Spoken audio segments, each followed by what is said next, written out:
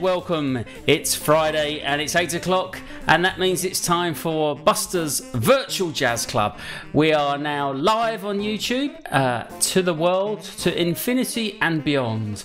I hope you've had a good week and. Um, uh, let us know if you're out there. If there's anyone watching, do drop a comment in the box or maybe you're all watching the uh, election results at the moment. But uh, we'll uh, we'll keep you updated if we get anything coming while we're on air. Um, so uh, yes, uh, welcome everybody, and uh, once again a big thank you to all my Patreon subscribers who support me every week on every show with a with their subscription. More more about that later.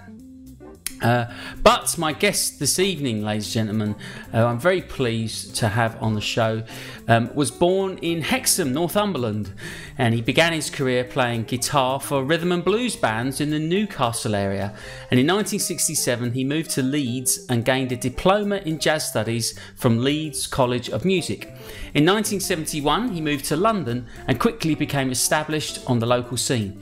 During the 70s, he toured Holland, Denmark, Italy, and the UK with the Lee Konitz Warne Marsh Quintet and also toured with the group Soprano Summit featuring Kenny Davern and Bob Wilber. He worked increasingly as a freelance musician from the 1980s onwards, producing the first of several albums under his own name, featuring Geoff Simkins on alto saxophone.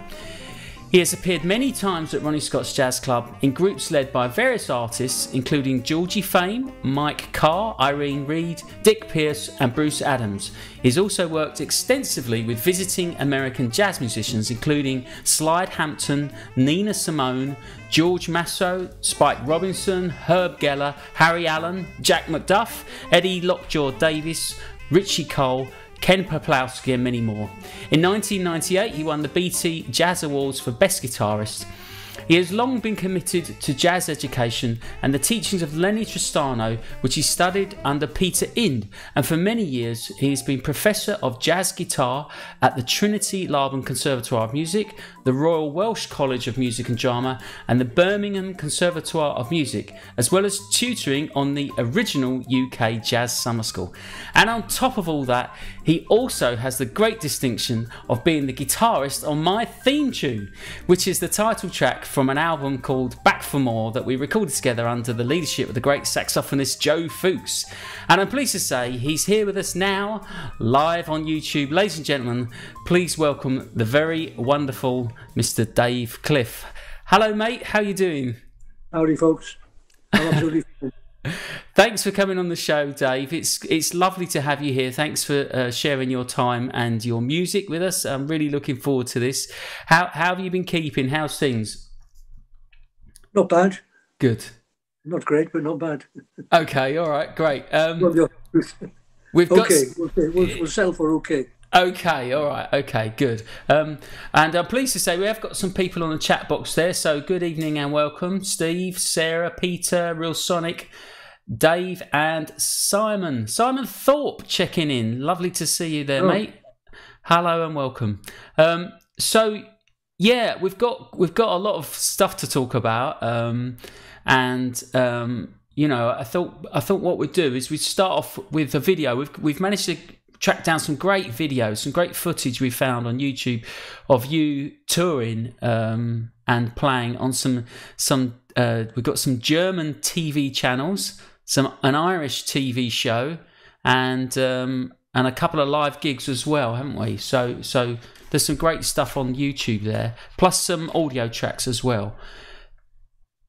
The um, the first thing I thought we'd play, Dave, if that's all right with you, is we've got a video here, and this is um, this is from 1996, live in Bern at the Jazz Festival there with uh, Bob Wilber and the New Generation Jazz Band and um, a very fine trumpet player Byron Stripling, and uh, that was that was in the sort of uh, as I said, ninety six. Do you, do you, do you want to tell us anything about that, or, do you, or should we just have a little listen? Got any? No, got any? week's work in uh, Bern. Yeah. Uh, we played at a local club and then did that one concert. So this and, was, uh, this was for the festival, wasn't it? Was it? Yeah. Yeah. Yeah, it's part of the Bern Festival, yeah. And they filmed it for TV show in in uh, German TV Yeah. channel. Yeah. That's right. Yeah. And that went. And did it go out live, or was it recorded at live at the gig and then I put think out? I think it was recorded. Yeah. yeah. So, it's, but it's in front of a live audience, isn't it? As part of the Yeah. festival, it's a Yeah, proper sure, gig. Okay, well, look, let's watch a bit of that. And this is um, so this features um, Byron Stripling on the trumpet and Bob Wilber on the clarinet. And this is a track called uh, Benny's Bugle. Benny's Bugle. Benny's There you go. Bugle. Yeah. Great. Benny referring to Benny Goodman. Benny Goodman, is that who it's referring to? Well, you know, Charlie Christian played a lot with Benny Goodman. Right, The the, the co-wrote things. right. No, Charlie Christian wrote it, and Benny Goodman claimed the credit. Fantastic. All right. Yeah, right. Yeah. It's good to see that's that's still going strong then, that sort of behaviour, yes. All right then. Let's let's watch well we're gonna watch a bit of this. And there's some very Yeah. interesting uh, TV graphics here at the beginning as well. So I think um it says Stefan Grappelli was on the bill with you as well. Is that right? Yes, he was. Yeah. On the same night or on a different Yeah. night? No, he's on the same night he played before us. Who was on this guitar who was doing guitar with him then? Was it John? Can't remember. John Etheridge. No, it wasn't John or Martin Taylor. It was a Dutch guy, I think. All right. I think it was right. Okay, brilliant. Let's check this out then. Um, live in Bern, 1996.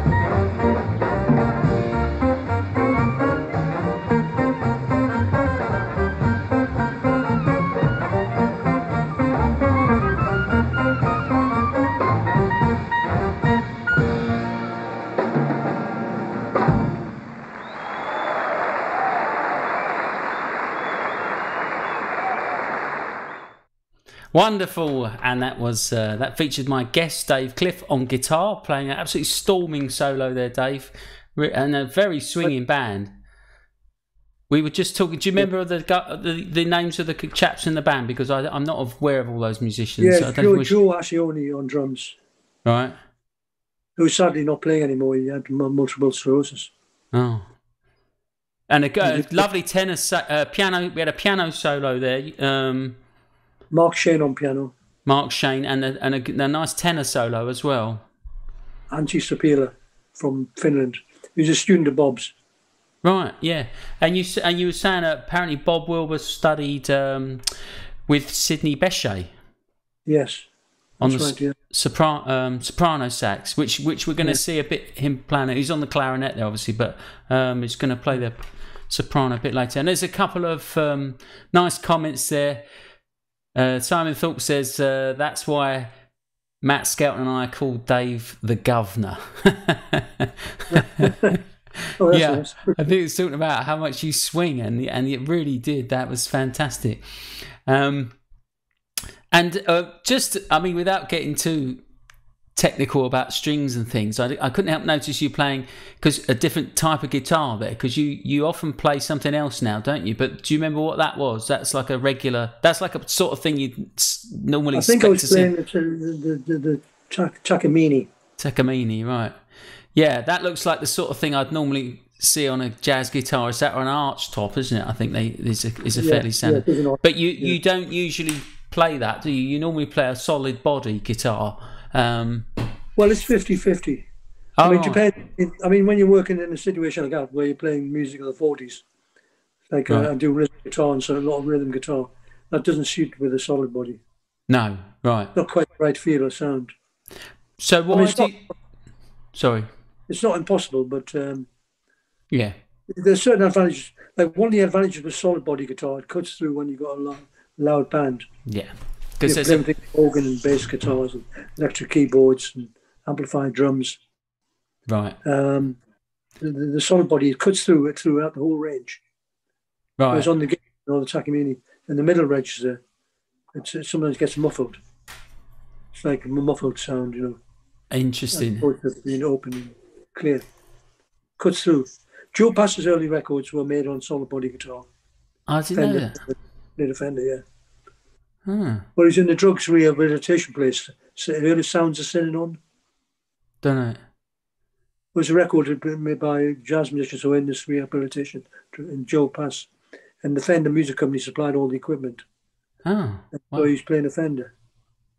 But he he didn't stick with that. He's, he, he went back to his. Yeah, yeah. yeah, he went back to Gibson. And of course, those um, those arch tops and things they're they're notoriously difficult of feeding back, aren't they? I think when they turn up as well. Am I right? That's, that's true. That, that's right. Yeah. So if you're in an organ or something and you need a bit of oomph, I see. Yeah, that makes yeah. a lot of sense now. Yeah. And the sound though, your sound is very distinctive as well. It's very clean sound on the on on that solid. But is that something, or is it you you, you know? Is there a lot? Of well, I don't know. I like to think it's, it's more approach. You can impose your sound on the guitar. Right. The guitar impose it on you. Right. Yeah. Um, so, so yeah, people have said they usually recognise my sound. Definitely. Yeah. Very That's distinctive. Yeah.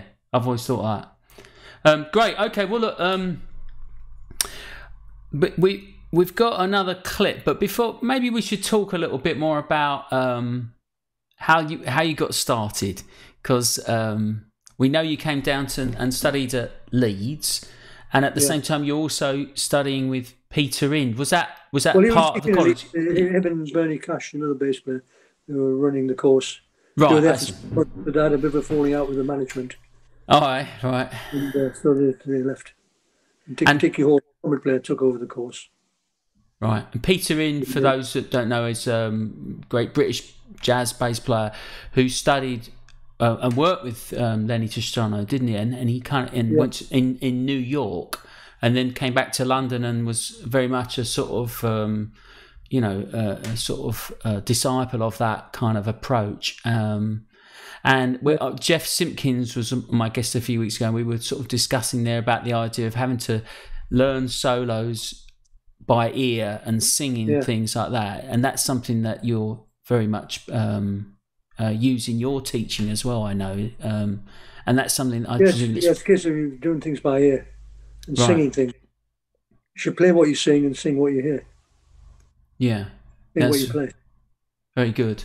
The other thing I um, and what I've always so felt about your guitar style, if you want, if you like, as well, is that um, you know may, maybe you could talk about some of your early influences because sometimes I don't know, maybe I'm off mark here, but it, it, it, seems to me like you live, you've probably listened, you've have listened to us horn players as much as guitarists.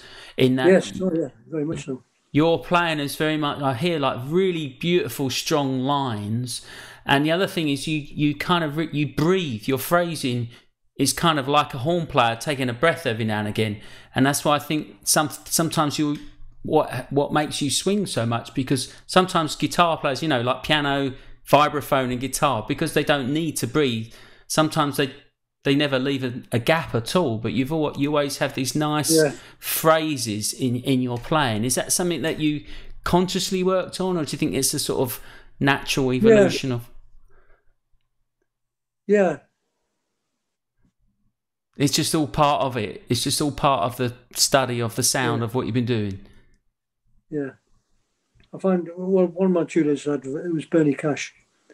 I was getting a bit stuck with my playing, and he recommended singing what you play. Mm. And also years later, when I met and played with Lee Konitz, he recommended you play for swap fours with yourself. Play four, sing four. Ah. Eight, eight could be eight. Play right. eight and then sing eight. To what try and link up what you to link up what you really hear and what you really feel. So play the same thing, what you're yeah. singing, and play it back. So you're not falling. So you're not falling into patterns. Mm. Yeah, very good. Very good. Keep it, keep, keep it spontaneous and unpredictable. Well, that's always a good thing. Yes. Well, look, um, let's let's let's. Well, actually, before we do, so I've got a f- little surprise here. Your son Mickey's sending me some stuff this afternoon, and I've it's all right. I've I've warned you about this, so um, I wouldn't just thrust this upon you. But we've we've got your we've got your results, your diploma results oh. from um, from 1967 to 68 at Leeds College of Music. It's all typed. yeah. Well, you'll be pleased to know that everything says excellent, excellent, excellent always makes a good contribution. You don't mind me reading these out to you? Well, no, you, no. I know I, I, already asked you, yeah. Um, but they was quite interesting. They're all. I mean, it's a glowing report, and I think there's some interesting things, except for. Pick out the bad bits, yeah. That's yeah, right. except for um, classical guitar. Apparently, there's your tutor says here, um, and I quote: "Although Dave has great natural ability, his heart isn't really in classical guitar playing, hence the low mark. I think he will do well in his chosen field. well, obviously that's that's that's proved to be very true. But overall, your tutor says an extremely promising musician, inordinate talent, and extremely conscientious worker. An excellent student. I'm very pleased with staff comments, and I sincerely hope he will be able to retain this enthusiasm from his teachers. So, um, yeah, quite prophetic comments there. yeah, from from your time at Leeds. Okay, well, look, let's watch a little video. Is that if that's all right? Um, yeah. We got something else coming up now. This is the Mike Carr trio, who you work with a yeah. lot. A great yeah. organ player. And um, is it Harold, uh, the, Harold Smith on the drums? drums. Yeah. yeah, he swings, doesn't he? Yeah. Well, you all do. It's a great, great trio. Yeah. And you work together quite a lot, right? Yeah, I enjoy doing that. Yeah, yeah, sure. And you toured throughout Europe with that band as well, I know. And um, I know you. I, yeah. Um, and and this is a this is another live performance on a on another. This is a German TV show, and we think it's from Cologne. I think it Cologne. Cologne. I'm not sure. Right, and we reckon it's around about the mid '90s. Yeah. Yeah. And uh, this tune is um, Hank Mobley tune, isn't it? This I dig of you by Hank Mobley. Yeah. Fantastic. Okay, let's let's let's watch a little bit of that, and then we'll come back and chat some more. Thanks. Yeah. yeah.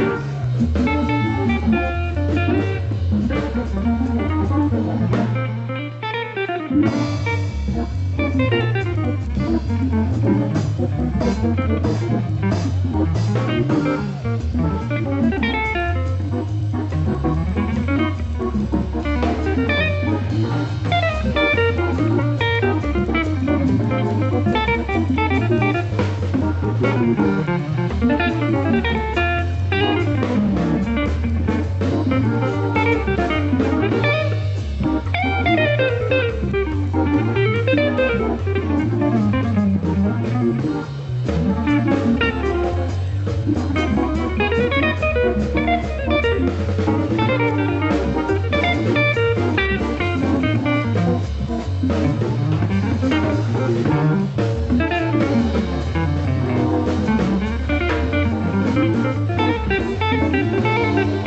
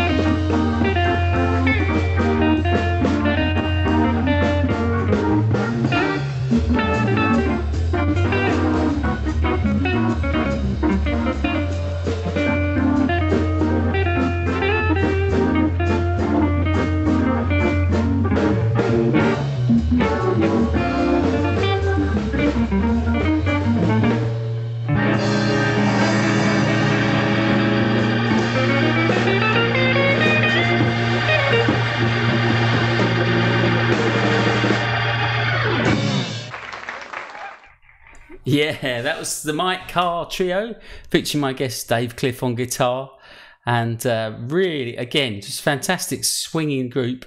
Um, we were just talking about that gig. I, I said it was a part of a tour, but that's not actually correct, is it? You was just telling me about how you got there. Yeah, it was, snowed all the way back. Uh, rather treacherous journey, but. Uh, you drove all the way to all the way there for one gig, is that right? Yeah, we, we stayed in an hotel for a night. yeah. But, uh, it's pretty hardcore. Yeah. And so on the, other, the, the, the, on other tracks, it, it was mainly Irene Reid, the singer. It was her gig. Right. And we used to do a couple of instrumentals as a warm up. And that Oh, I was this idea. That was a trio feature. All right. So she was on the gig on that gig with you yeah, as well, Yeah, yeah. and that uh, and it was a It German. was, it, was only, it was recorded in a club in Germany, in, in Cologne. Fantastic. And um, and you said you played at Ronnie's quite a bit with that that band as well. Yeah, Irene Reid, she came over every year, so for two or three years. And uh, did other odd things. And and so playing at Ronnie's, I mean, not it's not like now. Back then, you used to do you do like a couple of weeks, wouldn't you? Where it'd be every night. Yeah. Yeah, I remember we did a cou- cou- couple of weeks opposite Cedar Walton Quartet. Fantastic. And even gave even we got the bit because we had a woman in the band, Irene Reid. We got we got the posh one with the loo, the posh dressing room. I see Cedar Walton, Cedar Walton and his quartet were downstairs in, in the crappy. Fantastic. so I bet that was a great source of amusement. But so two weeks of playing like a few hours a night together, it's, it just does a lot for a band, for a group, doesn't it? Yeah, do- yeah, you can't replace that. Yeah, yeah. Fantastic. So, um, well, um, we've got we've got another sh- another video here of um, of another a later gig with Bob Wilber. Nothing, nothing too embarrassing, is it? No, it's quite short actually. This one, uh, but it does feature you again. We've got a nice Oh, solo. it? It's the um, the sax the Soprano Summit Oh reunion yeah, it's, band. well, it's so, yeah, it was called Summit Reunion because they both weren't playing soprano so much; they were playing clarinet, Bob and Kenny. So it became Summit, known as Summit Reunion. Right. And this um, and what and, and so how did that whole thing come about then? It was just like they Well, I think when when we were touring uh, Holland and stuff with Warne Marsh and Lee Konitz, Bob Wilber came came to the gig, right. and I got introduced to him. To him. And I think and uh, Peter Ind was doing the gig with Soprano Summit as well. So I think he recommended me, or Bob heard me playing with Konitz and that. And uh, we did a couple of tours of uh, England with uh, Soprano Summit. And when and that was in the seventies, right? Yeah, about 70, 75, 70, 77, 78. Yeah, Right. long time ago. and um, but this but what we're seeing now is not from then. This is from Oh, much that- that later. it. well, well, well, Bob would call me occasionally for things, you know, over the years. I mean, I didn't play. I didn't play with him loads, but there was I ke- kept up the connection there. So I did things off and on for years. And that particular thing in Ireland, he was using piano, guitar, bass, and drums rhythm section. Dave Green on bass, Mick Pyne piano, Bobby Worth drums, Great. Alvin McClone, and Bob and Kenny. And so was that a tour or was that just put together for this gig? It was a Or small tour, um, at the Cork Festival. I was at the Cork Festival. Yeah, the festival. We did two or three nights. And this was and this went out on the Irish TV channel, Yeah, didn't it? Irish yeah, right. Fantastic.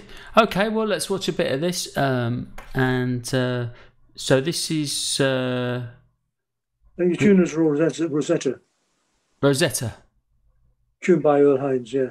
Fantastic. I think Brilliant. that's all is from that. Uh, here we go. Soprano Summit. And uh, here we go.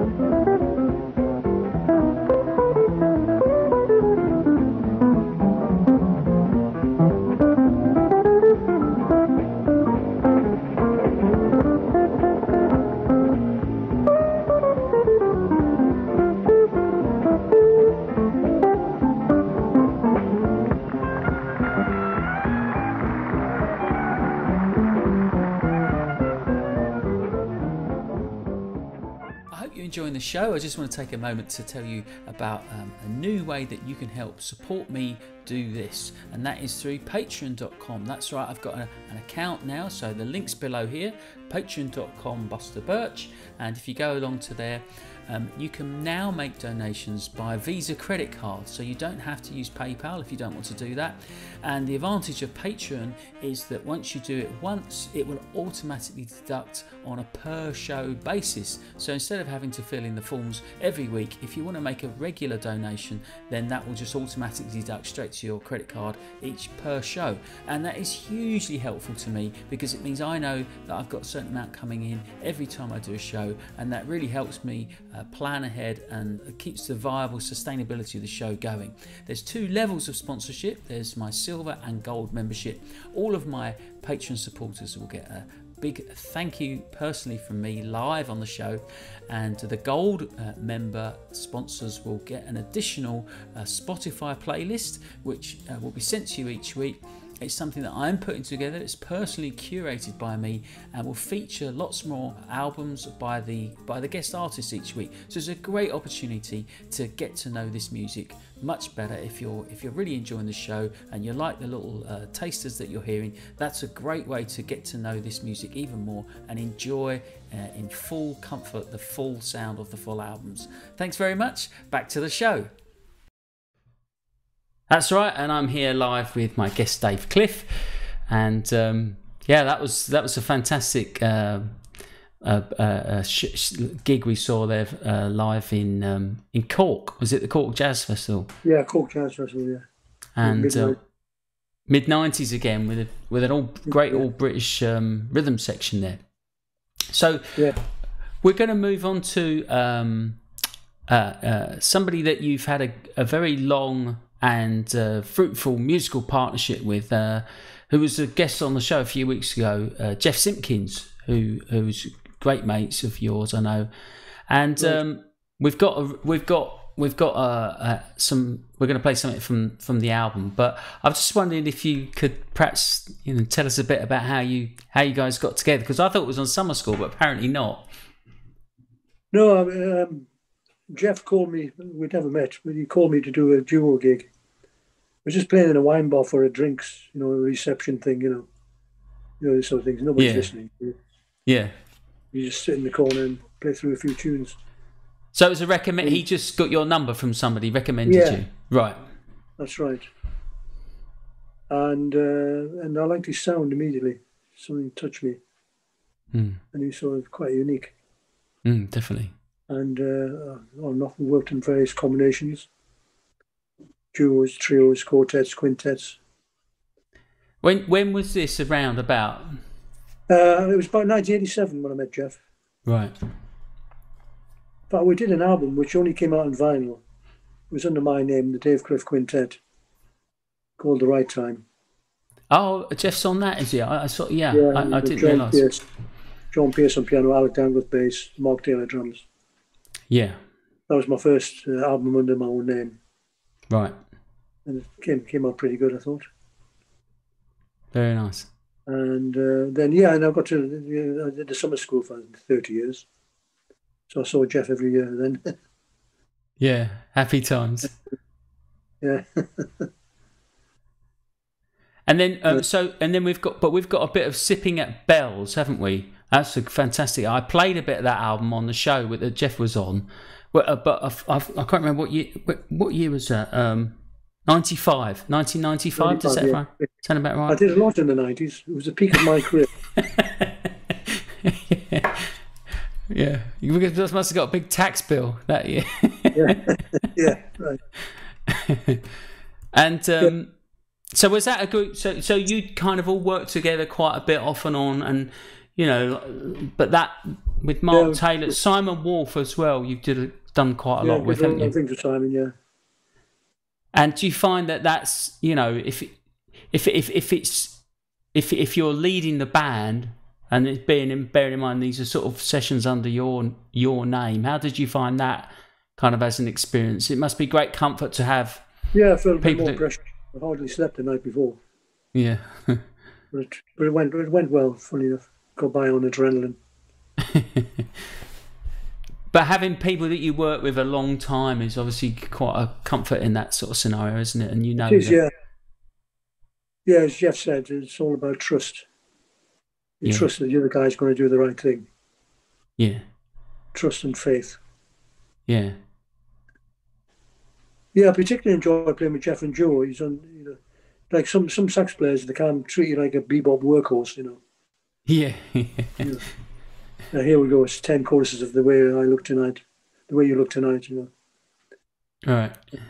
But it's more, with him, it's more of an equal partnership, and uh, he's listening all the time, you know. Yeah. Well, there's clearly a connection that you have with yeah. you and Geoff have, and I mean, you know, with all these musicians that you've worked with, are, are all great players. But there's something about playing so much together over a long period of time, isn't there? Where you, where you can yeah, go places maybe that you wouldn't, you know, you can. It, it you do That's you right. find, so you feel like you can explore it. Yeah, you feel more. free to. You feel freer. Mm. Not so set in the routine. Hmm. And this album, so we're going to play a track from "Sipping at Bells," and um, that's a that's a again a great. You got a great combo there with Mark Taylor on the drums and Simon Woolf on the bass. But you did a few duo tracks on that album yeah, as well, didn't you? A funny, there's a funny story there. I, I know that's why I've um, but, prompted um, it. Simon seemed to be Simon turned up at the gig. I answered the door of the studio. The studio was in West London. Right. He was driven all the way from Catford or somewhere. And he said, I've forgotten my bass. right. So he, looked, he, looked, slightly sheepish. Right. So this is like your thought, session. I, to, I, think he thought I was going to turn on him and sort of you know, abuse him or something. Right. Well, you know. Because I had the idea of doing some duo tracks. If we didn't have enough quartet material, Geoff and I could come back to the studio the next day and do lay down a few duo tracks. Oh, so right. it, fell, it fell neatly into the plan. So basically, he went home, go, did he? Go home and get your bass and then come back later. so while he was going all the way back home to get his bass, you you laid down these tracks with Geoff, which was which was kind of part yeah. of the plan, but maybe not yeah, in that four, order. Four or five duo tracks, yeah. Fantastic. Which I rather well, actually. Oh, they're beautiful. It's, it's a fantastic album. And the, the, the, engineer, the engineer um, Dick Hammett, don't know if you know that studio. Yeah. Probably Red Gables, yeah, I've recorded there a few times. Yeah. So Simon came back. Obviously, Simon was running late. Obviously, and he came back, and he helped himself to some sausages in the fridge. no bananas. Bananas, bananas. wasn't it? Yeah. Without asking, and, Dick, and Dick's a very fastidious guy. That's so right. when he sent me the bill for the recording, like recording and mixing, he put at the bottom Woolf's bananas, two pound. So, uh, so you got an itemised bill which included yeah. the bananas as well as the mixing and recording. Fantastic. Well, it's not often that happens, is it? So it sounds like a rather fraught session, um, all in all. yeah. But it's come out beautifully. It, it, I mean, the, the, the album's absolutely marvelous. It was some wonderful playing on there. Yeah, yeah, I'm pretty proud of that album. Not particularly, not particularly from my own playing. Particularly, I don't think I'm playing that great on it, but but the overall thing and it's a good variety of material. It's very eclectic. Yeah. There's West Gomi things. Yeah. Lee Konitz things. Miles Davis, a couple of tunes, and a few unusual standards. One of the things that Geoff mentioned, he said about doing these du- duos with you. He said, of course, he's he. Well, he said, I think he said something like, "Well, of course, it's easy for me, but when Dave plays solo, when Dave solos, he's on his own because, like, and yeah. I just wondered if you had any thoughts about that. Is is there something that switches? You do you have you know obviously you play differently when you're comping behind a soloist, but then when you play a solo. And you haven't got a rhythm section behind you, is that do you have to take a very different approach to that? Yeah, you've got to try and think of the pulse. You, you've got to try and make it clear for the audience what's happening. Otherwise, people might think you're just practicing or something, you know. so you, I feel the pressure to be absolutely clear, and then it's also try and include chords, you know, give give some harmonic language to it, not just right. lines. Play, play uh, add chords to it, and keep in very very very what you're doing. Like some tunes, I might just accompany with a bass line. Right. Some tunes I might do forward the bar, Freddie Green style. Some tunes I've just open comping Yeah. And then do a lot of duetting as well. That's nice. Just playing lines together. You mean two two lines yeah. on your on yeah, your own? The guitar line, yeah, no chords.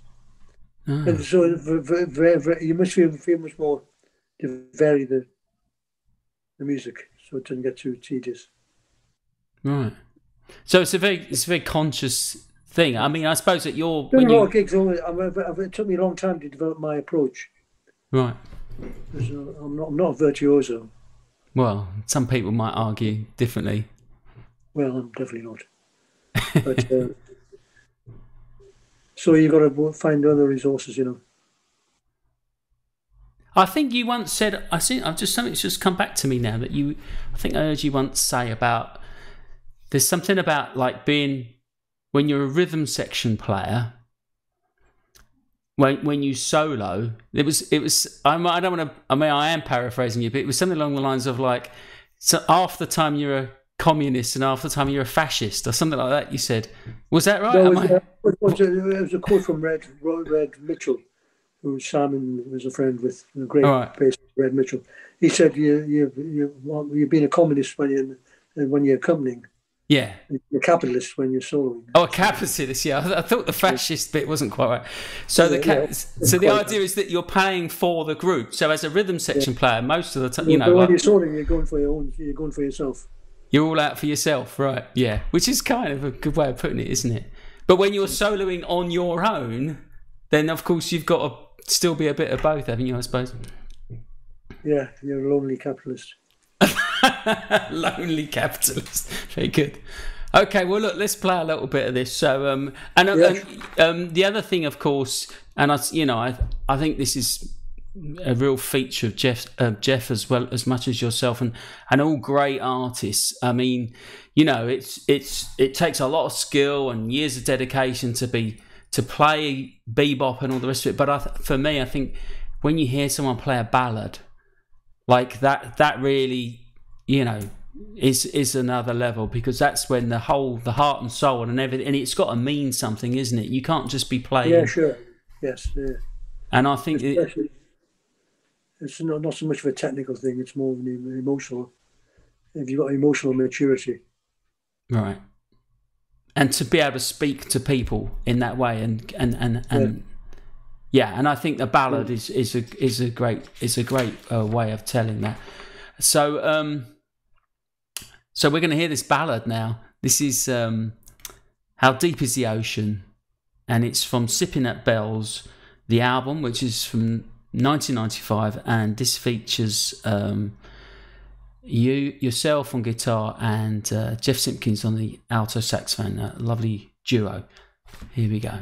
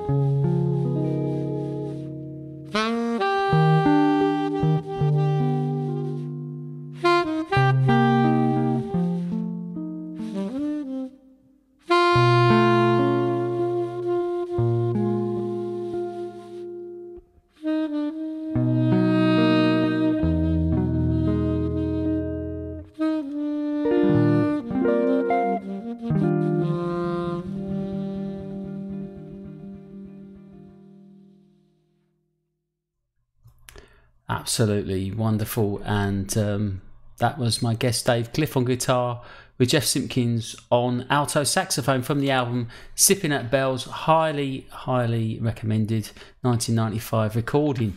Um, and Dave was just telling us about uh, all the shenanigans that were going on while they were making this wonderful music.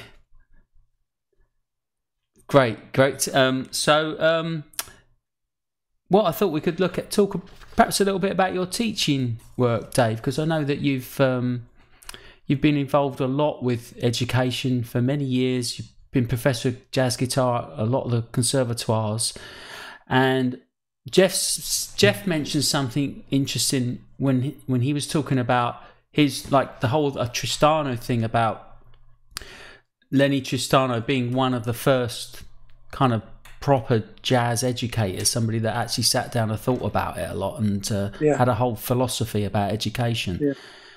And and and part of that being that um, that teaching is something that we should do, or am I right? Am I? If I, I don't know. Again, I might miss, miss, miss, I don't want to misquote Geoff, but he felt like it was a very important part of the whole process of being a musician.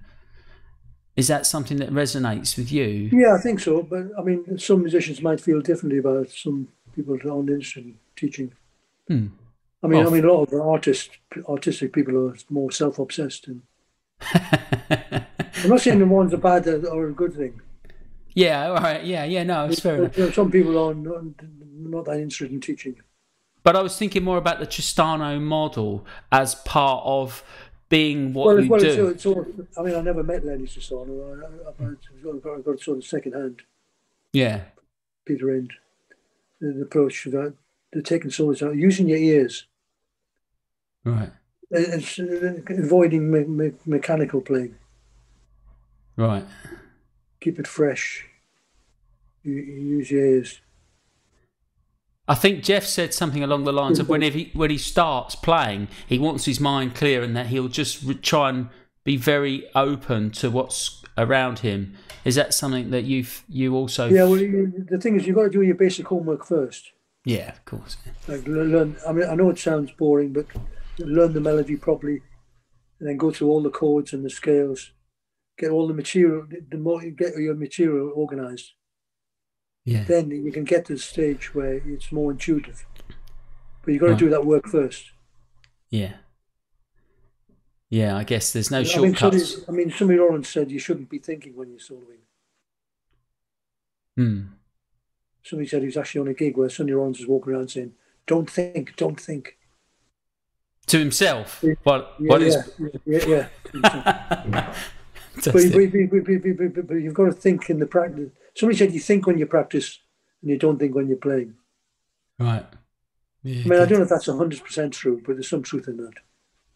Yeah. I guess. Uh, it, I guess. I mean, like it's like being in the conscious state or the subconscious state. Is it yeah. like? I mean, a lot of things we do unconsciously. I mean, just. I mean, you you might be getting in in and out of a car, you, and you're talking to the wife or somebody. You're doing two things at once. You're not thinking about what you're doing. You know you know how to do it. But that's only because you've done it so many times. Yeah. Already. Exactly, yeah. Right. Yeah. Yeah. So I'm a, I'm a great believer in for sorting out the basics. I mean, most good teachers. Yeah. yeah. And, and how have you found the students respond to that? Because if you're teaching at conservatoire level, presumably that some of them feel like they've already done well, that, do you, they? You get a mixed bag. Some people respond well, some people don't respond so well. Mm. A, lot, a lot of people want to run before they can walk. Yeah, that's what I mean, yeah. Mm. Um, but sometimes it works, sometimes it doesn't work. And if you found, how do you find? I quite, I quite enjoy teaching. You do enjoy it? Yeah. Yeah, I mean, I, I, I thought I thought you did. I got that impression. I mean, I have to say, you know, we've we've known each other quite a long time through working together at summer school, and um, and all the all the uh, adult learners that we have on the course have always raved about your your teaching and your approach, and um, you know, this sort of says no nonsense efficiency to what you're doing, but you always create a very nice atmosphere in the room and and make people feel good about themselves, but give them very clear sort of instruction. It's always, you know, we've always had very very very good um, feedback about your your teaching, and um, you know, I think it's good to share good practice about these things as well, isn't it? I think it's good that we'll, and then that that's certainly an environment where where that is encouraged, yeah. isn't it? Yeah. Actually, I enjoy running a band. One to one's good, but uh, running a band is more fun when you've got a student in a band, it's a workshop thing, you know. Yeah. Yeah, they're good. Rhythm, proper rhythm section and a couple of frontline players. yeah. I know different tunes and stuff. And I think because I think because I mean I do a certain amount myself, and I think when you're in that workshop scenario, I think what's interesting, I, I think sometimes students don't quite always realize is is there's a certain amount of craft of being a musician and yeah. playing in a band and like knowing knowing your role and and all that sort of interaction yeah. and signals that we get you know and what what is the protocol of of certain yeah. musical situations that they may not have covered at, on a one-to-one because one-to-one lessons tend to be a bit more about their instrument and yes. the, and the notes and when you get them in that environment of being in a group there's this whole other stuff which they may not have um, ever dealt with. And uh, i think that's really interesting isn't it? Yeah communicating and also listening to what the other people are doing as well as listening to yourself. Yeah. The communist capitalist uh, balance getting it right. Yeah. Yeah fantastic yeah. Oh, social social democrat liberal Democrat.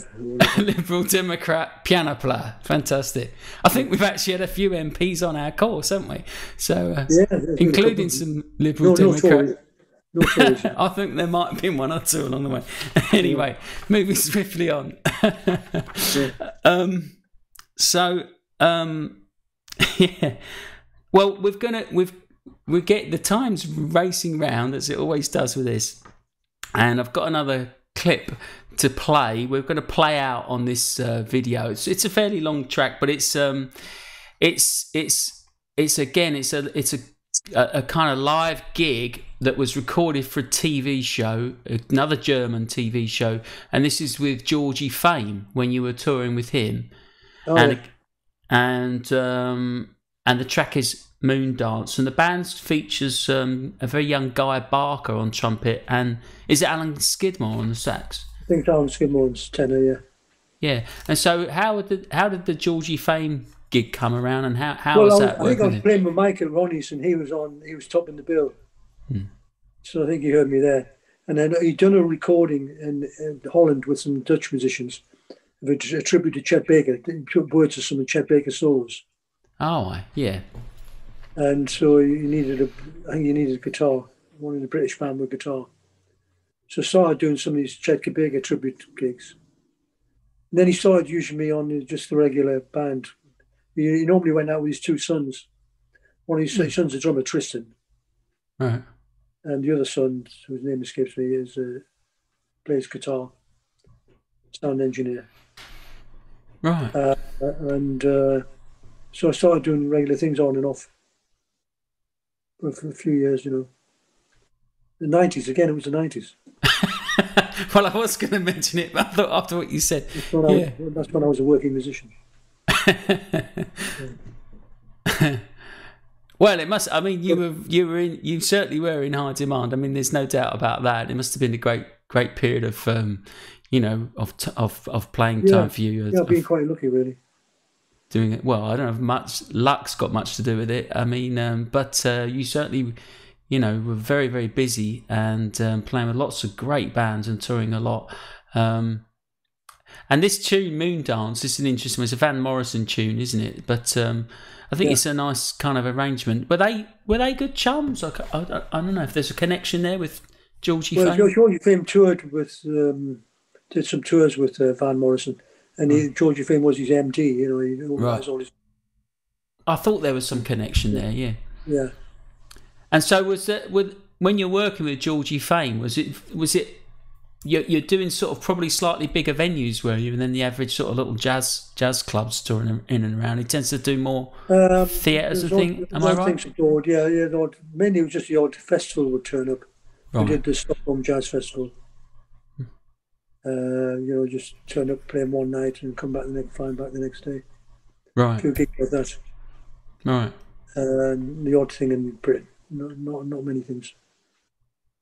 Yeah, it was mainly the convent. Right.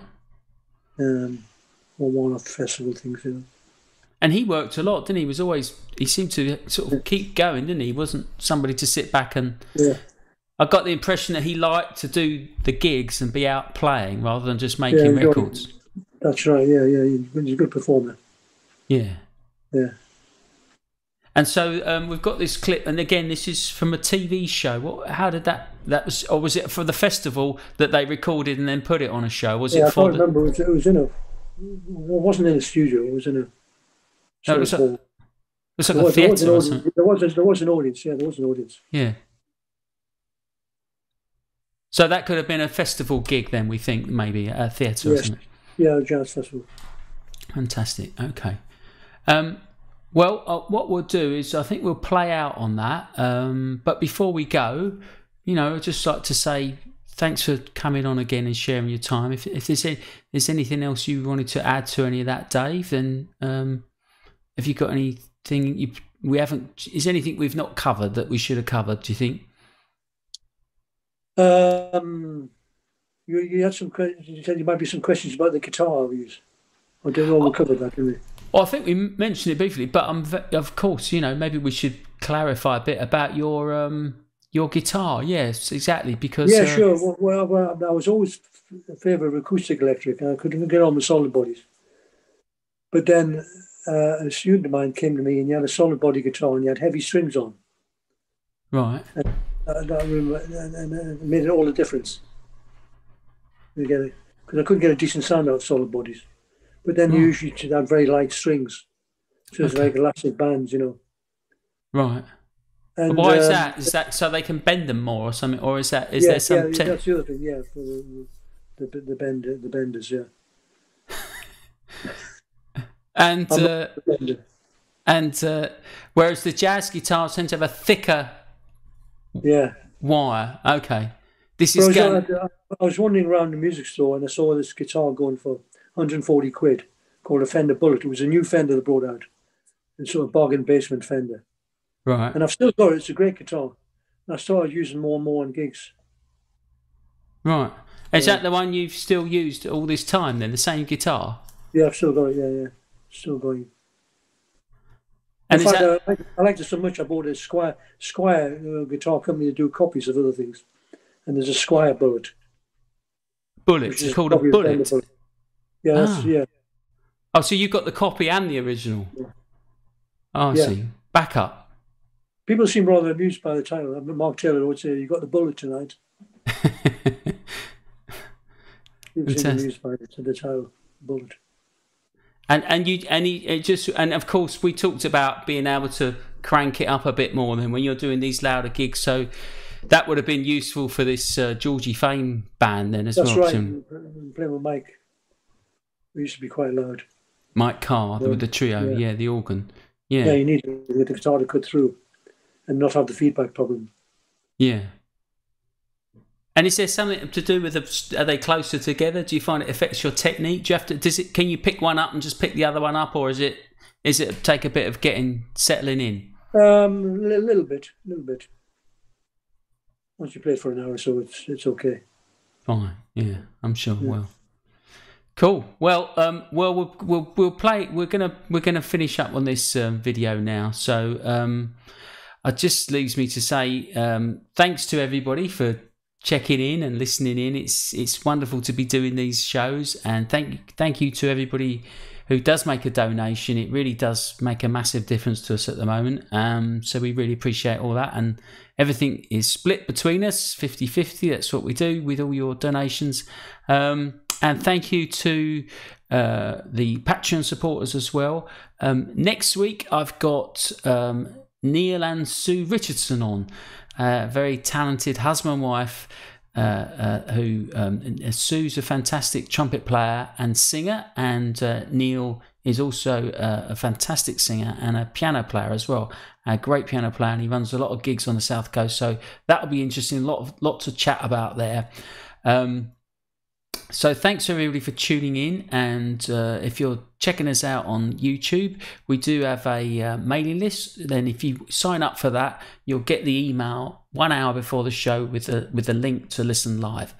So once again thanks uh, to everyone. Thank you dave. It's been great mate having you on. Pleasure. I've, Pleasure. I've, I've really it wasn't too boring. Not at all. No it's always great to chat to you. And um, i always enjoy you know, I always learn something when I chat to you, and I, I, I always very much enjoyed our, our, learn, our, our long... You learn not to call me again.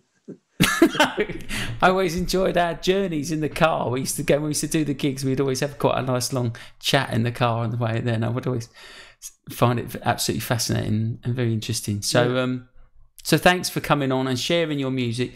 And folks, you know, do check out. There's there's there's lots of other stuff out there that you of, of Dave's, and um, I've got uh, the Spotify playlist is is is for the Gold Patron members. So there's there's some albums coming your way to check out.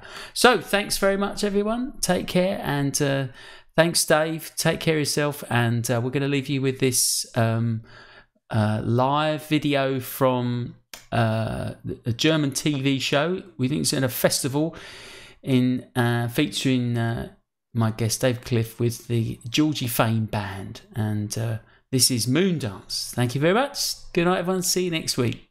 Bye, Dave. Bye bye. One, two, one, two, three, four.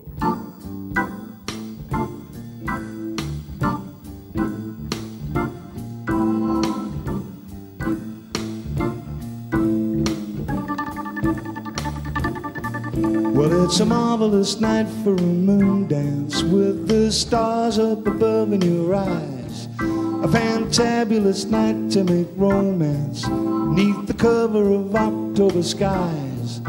All the leaves on the trees they are falling to the sound of the breezes that blow. And I'm trying to please to the calling of your heartstrings they play soft and low. And all the night magic seems to whisper and hush. All of the soft moonlight seems to shine in your blush. Can I just have one moment dance with you, my love? Can I just make some more romance with you, my love? I wanna make love to you tonight. I can't wait till the morning has come. And I know now the timing is just right. And straight into my arms you will run. When you come, my heart will be waiting to make sure that you're never alone. There and then all my dreams will come true, dear. There and then I will make you my own. And every time touch you, you just tremble inside. Then I know how much I want you, that my love I can't hide. Can I just have one moment dance with you, my love? What I say? Can I just make some more romance with you, my love? Saw me standing alone without a dream in my heart, without a love of my own. Blue moon, you knew just what I was there for. You heard me sing a prayer for someone I really could care for. And then it suddenly appeared before me, the only one my arms could ever hold. I heard somebody whisper, please adore me. And when I look, you turn to gold. Can I just have one moment dance with you, my love? But I said,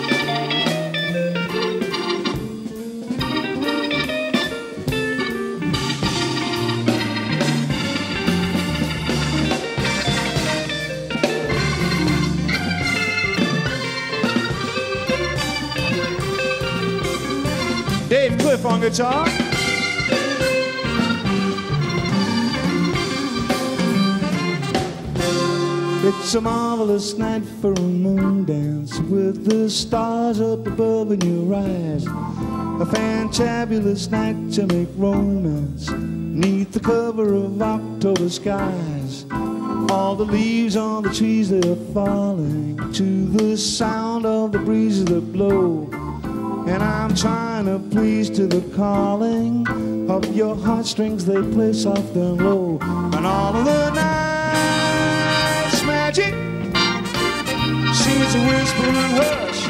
All of the soft moonlight seems to shine